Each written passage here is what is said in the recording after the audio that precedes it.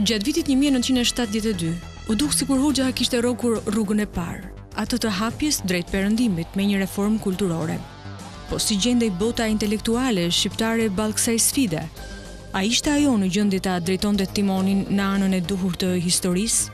Në dyzet e gjashtën që bëri goditjen e parë Enver Hoxha dhe me me kërkesën e jugosllavëve, e dy serbëve që kishte këtu, eliminoi gjithë elitën e lartë, të Shqipërisë e cila me të cilën e çoi Shqipërinë 200 vjet mbrapa. Nga 46-ta, deri në 73-shin, u ngrit. Po, ata ishin, ata e bënë. Ata që kishin ardhur nga Praga, nga, nga Varshava, nga, nga, Buda, nga Budapesti, ata Ishin u formuan që ta bënin atë lëvizje. Ne ishim të ri. U formuan që ta bënin atë lëvizje, e bën edhe e pësuan. Unë për veten time kisha një formim solid, do ta quaja nga shkolla që bëra në Pragë, ishte shkollë, ajo quhej Akademia e Arteve, arkitekturës dhe dizajnit bëshin teknika të ndryshme.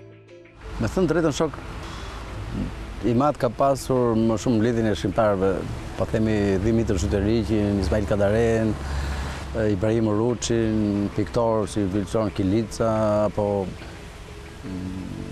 Ksenofon Dilo, por shkonte bisedonte.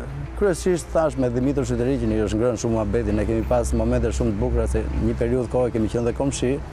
Im at ka qenë mosh më i ri se Dhimitri, po e donte shumë, e vlerësonte shumë. dhe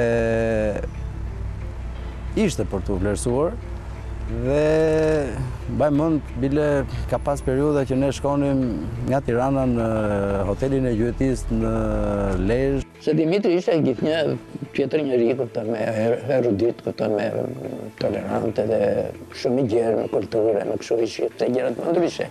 Edhe kupton, liberal, Liberal në kuptimin më të mirë të fjalës.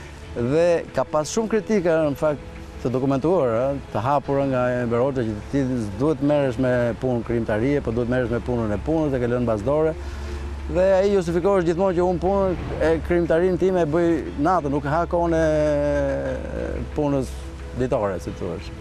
Kështu që e ka pas pasion atë dramën, edhe me diskutimet në familje, për shembull e ëma, ime më i thoshte gjithmonë do të ta hanë kokën këto dramat, sepse kritikat aty kishte gjatë që nga viti 61-2 po themi, gjithmonë i thuhesh mos shkruaj, mos shkruaj, po ai e kishte ndarë mendjen.